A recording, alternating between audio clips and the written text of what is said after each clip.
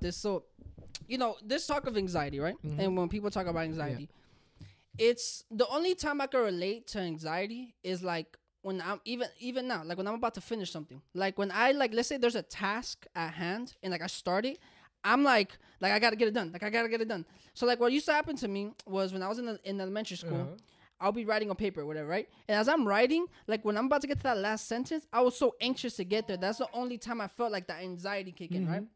And so now that you mentioned that, I'm thinking, us, because I used to get the exact same thing. Go kneel down, and there'll be times where you just gotta wait. You Yeah. know what I mean? You, you're waiting. You don't know mm-hmm. how much time is passing by. You're praying to God. I'll be praying to God. I'll be like, please, God, don't let this person hit me. Please, please, please, don't let my mom hit me. Hopefully they cool off. Like, Hopefully yeah, yeah, like you, like you be praying and like expecting for these people to like, but nah, bruh, the wrath of God comes with that belt. As a matter of fact, right on time too. so think about it. Like you're you're on your knees, which is like already abuse yeah. in itself. That's mental abuse, Yeah, bro. yeah. Like think about it. Go get on your knees, and you don't even know how long you have Yeah, bro. until This you're is about worse to get than the, rapture. This is worse than the rapture. Like you It know when people is. be saying Jesus coming soon. You don't know when it's coming. Exactly. No, you know what it is about the rapture too? Is that like with the rapture, you still feel like you have a chance. Yeah. Because even after it happens, it's like, all right, but I guess if I turn my life to God, I'm gonna be all right.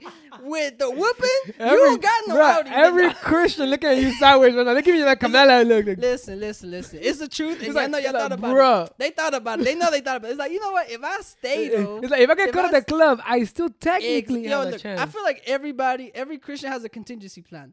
You know what I'm saying? Like, like you Yo, want, you want it yeah, right no, now, think about- listen, you want to like go ahead and like praise God, and you want to go ahead and be in that life in that realm. You want to, but you know, like there's like you know th- these little, t- you know what it is too. And I'll tell you what. This I feel like this is the thought process of people that aren't brought up in the church from a young age. You get what I'm saying? Because I feel like once you grow up and you experience life like outside of church, like like out, and away from God, right? Mm-hmm. You experience like you know like the like the dumb stuff, you know like like the the lustfulness, the women, the cars, whatever whatever it is that you like. You get me? When you come back to the church, you almost feel like oh, I gotta give up like some of these Uh-huh. things, and so. I feel like some people have these contingency plans in their head. I feel like, listen, if I thought about it, I'm not the one that's thought about that. now, I'm not saying, I listen, I just thought about this right now. I swear to y'all, this just came to me right now because I'm like, yo, if you think about it, if the rapture comes, you still got a second chance, bro. Like, you really do. Even if you have to die for it, you still have a second chance. But, like, I die for mine. but, bro, listen, bro, this is no joke, man. This is no, yeah, man. So, what was I? Oh, right, right. So, you know, I feel like that's why people have the contingency plans because it's like, you know you're gonna mess up, and if you get left in the rapture, that's really your only choice. Like realistically, whether you want to, I feel like God put that. It's like a contract. Like God left in the fine print. Like, look, bro, you got one more chance, bro. I'm gonna give you one. You actually gotta think. Let's talk about that for a minute, bro. Let's talk about how good God is for a minute, Hey, right? I could I could get No, a praise break going. for real. A Let- praise Let's talk about how good God is for a minute, bro. Why is it right that even okay, so you're told right that no matter like what, because we're sinners, God will always forgive you, right? As long as you go to Him, you know, and you repent, Mm-hmm. you know, with open with an open heart, right? So you already have that those chances, which are like basically unlimited, right? Yeah. You also have the rapture coming, right? Which is like you know when Yeah. Jesus comes and or not when he comes, but it's like you know when all the people that have served God Mm-hmm. will disappear in the blink of an eye, boom, right, gone. You're not gonna know what happened. Stuff goes crazy. If you stayed and you are recognizing what's happening in Mm-hmm. the world, you're gonna realize like, okay, so this just happened. So you literally have one more chance to like. So what is it, right? How we talk? I- I guess to modernize things, right? It's, you know, the chip implants, right? That means you're gonna be. That's the mark of the beast, and you're gonna be on that side. And if you decide not to take it, you probably want to give up your life. And that's fine, cause I mean, I'm be real with you. You better, you die, just die, my nigga. Just, yeah, trust me. Just take you better off? take it. Trust me, you're gonna be way better off. And so, why so many chances? I I think honestly, uh, I love how you phrased it because if you hear most people who don't understand what we believe in, they say, "Oh, if God is good, then how come He sends you to hell?" Right. Right? But you give the other side of the coin. How come God gives you so many chances? Yeah. You know, and based on the Bible, right? The Bible says that He doesn't want anyone to die. He wants everybody to come to repentance. And I, and I think people misunderstand um, Christianity and it's Christians' faults, right? Um, because we don't understand the Bible. So when we talk about the Bible, we're saying, "Oh, but the Bible says this," but the Bible doesn't actually say that. That's what you interpret it yourself. You know what I mean? So like even the idea of the word repentance, people say repentance means saying sorry. No, the word repentance comes from a Greek word metanoia, which means a change of mind, a change of heart, a change of ways. Okay, okay. Slow that down for me again. Run that. The word repentance comes from you said a Greek word, Yeah, called metanoia. metanoia. Uh-huh. That means Because meta is transformation, right? Yeah, The- like metamorphosis, metahuman. metahuman, right? Mhm. Is someone who's changing. And so metanoia. Yeah, Noia. And so it's like it's a new way of, of seeing things, a new way of walking, it's a new heart, like this kind of right? It's a Mm. it's a shift. Got you. Yeah. And, and so when, when you're saying repentance, essentially what you're saying is, I was wrong. That means God is right. I was living my way and what I thought was right. Now I know that it, He has a different way of looking at things, and I agree with His way, not my way, Mm. right? Gotcha. Because I, I think a lot of times we think we're wiser than we are. Mm-hmm. Yes. And so God gives you that chance of saying, "Hey, look, I, I I still want the best for you, even if it takes you a long time to realize that. But you could avoid a bunch of headaches if if you chose you chose my way. Gotcha. Like like we know when your mom or your dad tell you like, "Hey, don't do this." yeah. Sometimes they don't give you a reason. But if you were mature enough in that moment, like if you, you if I went to go back to when my parents used to tell me don't do this, Yeah. I would go and tell my my younger self, be like, "Hey, they know why they say that." yeah. Yeah. yeah. And I think the Gotcha. same thing happens with God and, and, and Christians. Is like, you know, you realize, man, I, I, I kind of get what God is saying. Don't do this or don't Mhm. do that or don't do it this way, you know? Right. Um, because I, I think He does want the best for us. Um, we just have a hard time understanding that maybe we don't know it all. And it bothers us that, that somebody else could have a better interest for me than I do. Right. I guess yeah, and you know, even on that, I guess that that's the thing that kills us at the end of the day is just the not knowing, right? Like Mhm. even when we talk about death, Yeah. right, and when we talk about God and going to heaven or hell, the hardest thing is like, how how can you believe in something that you don't see or Mhm. you don't know, you don't have no proof of, right? And it's like, because obviously, right, like you know, this whole life is based on faith. Yeah. You get me? That's that's yeah, what it is. the whole thing. Yeah, the whole thing is based on faith. But the thing that I feel like kills people the most is that part, just that you just don't know. And that's what realistically, even like outside of like just talking about God, I mean, just death in general Mm, scares that's- people, yeah, period. Like yeah. even if you're a Christian, a lot of people I mean, there's don't get me wrong, there's Christians that are like they're prepared to die because they're like, yeah, I'm, a, I'm I'm good. Like I'm about to go see God. Like, you know, I feel like that level of faith is a very difficult level to achieve. Yeah. You get me? Like to really get to that point where you're like where you like for example, like let's say, you know, God, God forbid, right? Like somebody's like, yo, you're about to die from in one week from cancer. You have cancer, you have one week to live. Some people really look at that and be like, okay, that's fine. Like, you know, this is the time that God gave me here and mm. I'm about to go see my, my dad. You get me? Like Yeah. and then there's other people are like, Oh my god, you know, you panic, right? Like, I haven't done enough or whatever. right. And and that's Yeah. just it though. It's like the not knowing part. Like you just don't know what's gonna happen. You know? And I grew up in church, and I experienced that all the time. I used to be like, "Dang, you know, what if I die? What if I die?" And and honestly, I grew up with fear because I think that's what happens when when you're not understanding the way God sees things, right? And I'm saying that we're gonna understand everything He does, but or the way the word was meant to be given, which is in love. Yeah. Um, you create fear in others and in yourself. Mm. So I would repent every night. I would say, Jesus, forgive me, because if you come tonight in the rapture, because you know they tell yeah. you like a thief in the night. thief in the night. yeah. So you think he's coming at night? So I would repent every night. I Yeah. repent because i was like, yeah. man, God, if you come tonight, I don't want to wake up tomorrow and like be the only one here. What if my Yeah, parents yeah. are gone? Everybody's gone, you know. And so that was fear, but that was it was a lack of understanding what what repentance really meant and what being with Jesus meant.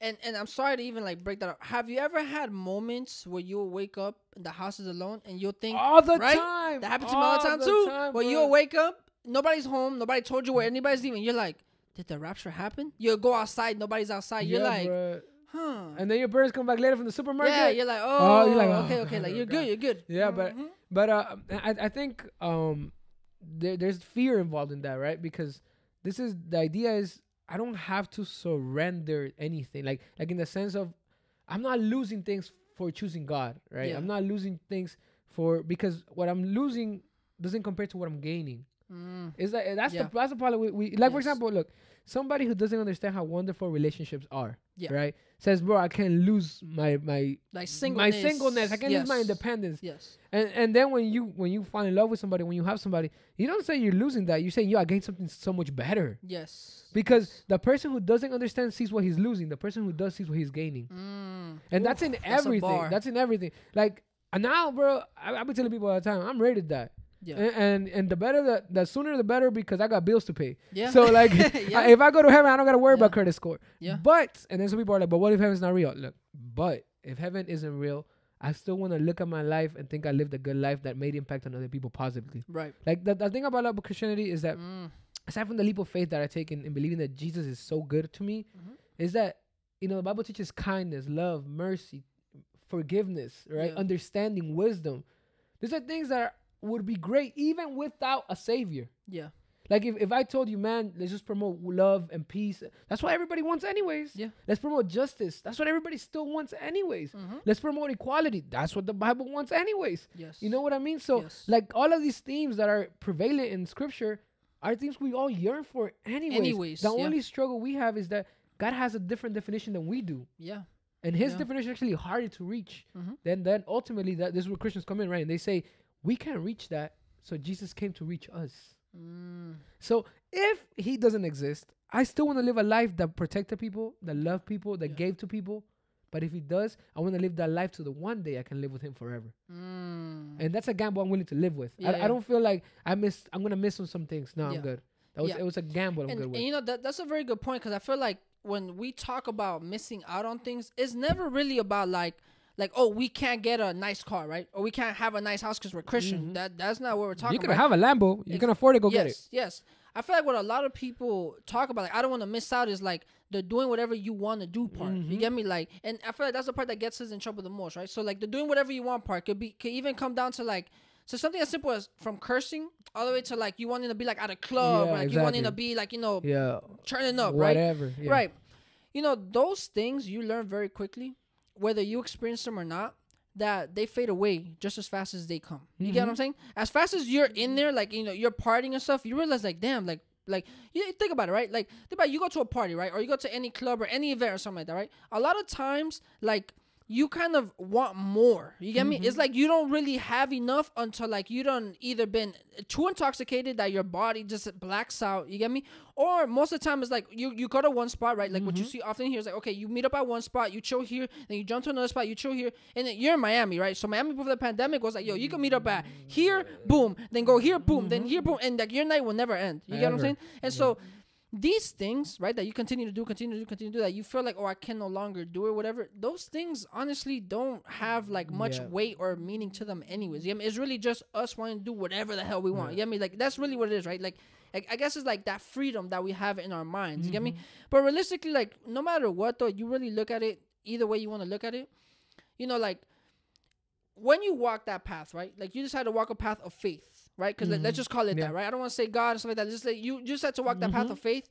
You start to realize that the things that you like didn't even think about doing and you start to do bring so much fullness to you like they start to mm-hmm. Yep. fulfill you way more than you s- wandering in the world Yep. just like trying to see like okay will this make me feel good would that make me Yeah. feel good and you start to try things that make you feel good and you start to realize like maybe they make you feel good for a little bit Temporary, but it fades yeah. away Mhm. you get me even like like like one thing that i could like i guess like even like looking at it now right so like you know i've been a big preacher like oh i'm gonna be single forever this that, and the third right it's like you kind of get to a point right where like whether you mature or not i just feel like yo how many girls can you sleep around with until it gets old you get me Mm-hmm. how many clubs and how many drinks can you have tried and been to before it gets old yeah. you get what i'm saying like how many of these things that we, we spend so much time and energy on like how how long until it gets old and boring and mm-hmm. repetitive? You Yeah. get me? And again, you could combat that with everything. You combat that with your regular job. You combat that with going to church. Yeah. I get it. You get me? So there's there's both arguments going back and forth.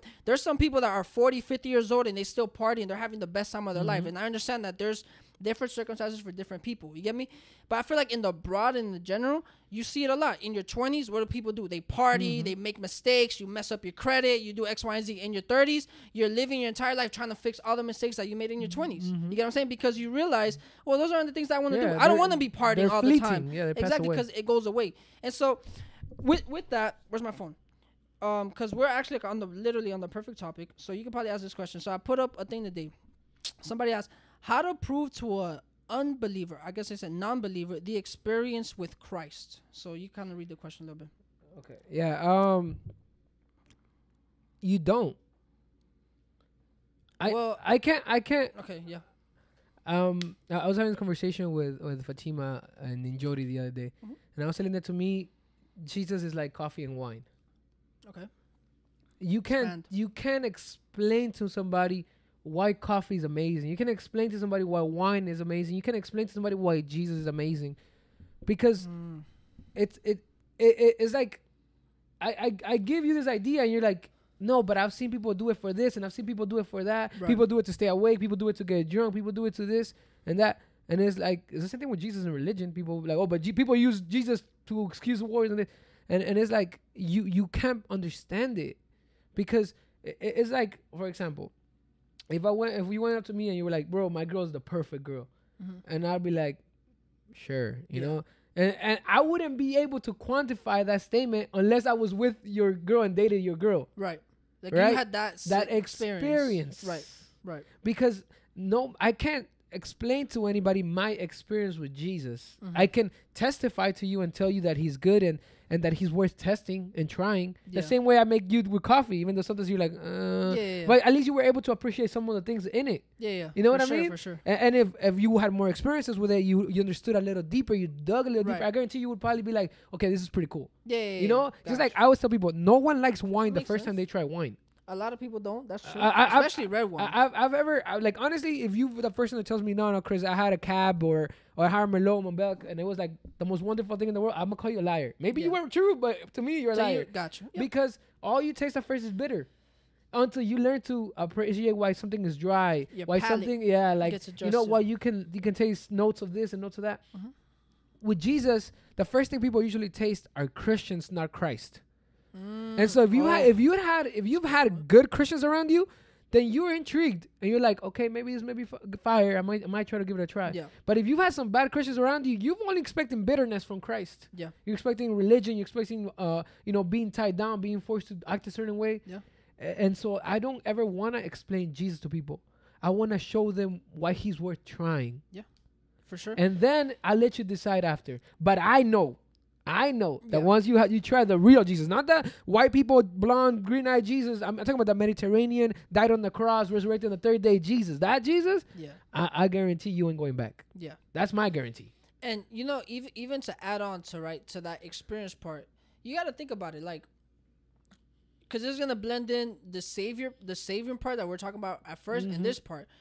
This entire world, right, like the entire globe Mhm. of Earth, right, with billions of people, all have religions, all of them. Mm-hmm. like for the most part, right? You pray to some type of god or some type of idol or some type of spirit or something, right? Mm-hmm. So if the masses, right, when I get saved, meaning like there's very few people, right, that are said to enter the kingdom of God. Bruh, these people are like, uh, there's people are gonna be religious. There's people that like think about it. The majority of people Mhm. like believe in something. Even Mhm. if you're an atheist, you still believe in something. Yeah, you believe is that there's nothing. exactly. so like Yeah. you, you the point that you believe in something just like Christians believe in something. You get me? And even then to that to that degree, a lot of people won't get saved. You get me? Because at the end of the day, it's true. Like you cannot like like you can tell somebody about who Jesus is, right? And what it is, but Mhm. to the experience, it, it's gonna be very difficult because then you have to really dig deep into situations where you can really see, oh, this is where God shines. Yeah. in, in which, in which, like you said, for a good Christian, it's gonna be in every situation. You kind of see God come through. You All the time. Because like, I'm, this is the thing too. You could be somebody who who was broke today, right? Today, zero dollars in your bank account, Mhm. zero dollars, and you're stressing, and you're like, oh, and what am I gonna do? And Mm-hmm. you've been praying, and the very next day, you might have five dollars in there, and you can see God. You get what I'm saying? You can have one dollar and Yeah, you can yeah. see God. Like, thank you, God, because I have something. And that's just a monetary thing because I feel like everybody can relate to Mhm. like, To yo, being finance, like, yeah. like you know what it is for you to be broke, broke, and you're Mhm. like, yo, like you're struggling. You get me? So that's that's really that's really a very good point. Like you can't really explain that, but to answer this question, right? For for me, right? Like for me to answer that question to somebody, like if they're to ask me, look, I don't believe in God, but tell me your experience with Christ, it would be just to tell my story of life in Mhm. general. Yeah. You get me? That you've seen Jesus in everything. Exactly. Yeah. It'll, it'll be just just to talk about like, look, this is where I come from, and this is where I am today, Mhm. and I believe that all of this is f- because of the glory of God. Because like me personally, I feel like where I'm at today is 100 percent because of God. Because I just don't feel like I don't put in enough work. Mhm. Like I don't feel like I've been overworked. I don't feel tired. I don't feel like I sacrificed a lot of things. I don't feel like I done given up a lot of mm-hmm. things for me to be where I'm at today. You get what I'm saying? Like this is like to me a blessing. Even though I'm not rich or none of that stuff. You get me? Like I don't have a lot of Yeah. material things. I still feel blessed to be where I'm at. You get me? Mm-hmm. And I'll give that to God. So like that is like you said, like a te- you could testify and give your testimony, but you really can't give that experience. You get me? Like the real, real experience, because that's something that you actually have to experience yourself, which is absolutely. And actually, now that I think about it, there's actually like a really perfect comparison, because you can describe to somebody how coffee tastes, or like you know, like oh, it tastes like this, that, and the third, but your mind could only go so far, especially having experience. Like if you Mhm. haven't had like coffee, like taste like in your tongue, like it's gonna be very difficult for you to kind of like be like, oh well, this is Mm-hmm. Yeah. more or less what it's gonna taste like. So I kind of see like exactly where you pinpoint that. Um, And I would say two things more, right? Okay. Number one is the Bible doesn't even teach. Um, our job is not to save people. We don't save anybody, right? It's the finished work of Jesus and the work of the Holy Spirit. And number two, I've, I've said this always. I think we had a video a couple years ago where I said, I know God is real because I could have never prayed for a life as good as mine. mm, You know, I, I've always said that's like, yeah, if if you gave me like a raw design, right? And you're like, Cris, draw your life. I would not have this life, and it would suck because this is the best life I could ever ask for. Yeah. Like, and, and I think that that is where I'm like, you know, what God has been good to me. yeah, Um, I hope people can see that. If they can't, I hope they can still see me that I believe this by the way I live this. You know. Um, like yeah, because I, I think that's that's ultimately when we talk about I'm down. You know, we don't obviously this was a very Christian episode, but Mhm. um, I want to encourage you to to if you say you're about something, be about that thing. Mhm. You know, because the worst thing you can ever do, and I say this all the time, as a Christian, the worst thing you can ever do is play yourself. You know, it's a story in the Bible, and and with this, uh, hopefully we can wrap it up into something Mhm. meaningful. But um, there's a story in the Bible where Jesus says, you know, there's people who will call me Lord, Lord, in the day of, of you know when they're in heaven, and I'm gonna tell them, depart from me, I don't know you, and they're gonna say, but but we did miracles in your name, and we did things in your name, and and and that always scares me. Because the, they, the miracles they describe are like body miracles. Like they're like, oh, we healed the sick, we did this and we did that. Mhm. And I'm like, you could do amazing things for God and still not be with God. So I ain't trying to be a I ain't trying to be a person who plays themselves, you know. Get to heaven and find out that all the things I did for Jesus, I was never with Jesus. Yeah, you- you're you're again playing. You're uh, perfect in yeah, the whole time. and so, Yeah. Uh, you know, whatever you believe in, whatever you affirm, make sure you're playing yourself. Make sure that you can look at yourself in the eye and be like, I, I'm, I'm, I abide by this. Yeah. Not that we don't have our lefts and that we don't have our rights. We have our peaks and our falls. All of that's gonna happen. Um, but I, I think in my place the comfort is that I don't depend on my own strength. I can rely on Mm. God, and I hope you have something you can look forward to. If not, DM us. I have million moments where I enjoy talking about Jesus. Yeah. But overall, I think it's, I'm down to saying, look, I'm gonna commit to who I want to be, Mhm. right? Because as Christian, you're called to be like Christ. Um, in your career, be who you want to be. In your dream job, be who you want to be. You know, pursue that thing that's gonna make you feel alive. I know what it is for me, and I know what it is for you. Mhm. But I hope you you find that life that's worth living. Uh, you know, Jesus says, "I come that you may have life and life more abundantly." Yeah. We Christians were not meant to to s- to just barely get by. We're meant Mhm. to survive or survive. So- we were meant to thrive. Yeah. A- And, I think people in general, that's what you're meant to do. That's why how the things we chase never fill us up is because we were made for more. And Mhm. I really hope people always get that, like Yeah. out of us, you know, yeah. like that we really promote that your life is worth living, your life is your dreams are worth dreaming, and and your passions are worth pursuing. But make sure that you know you can look at yourself at the end and say, I didn't play myself. I I, I did what I wanted to do. I, I didn't get too distracted. I didn't get too too derailed. I didn't get stuck in the momentary fleeting desires. I ran this Yeah. race, this life, and I overcame. Because I think that's gonna be the end. What's gonna be worth it. Yeah.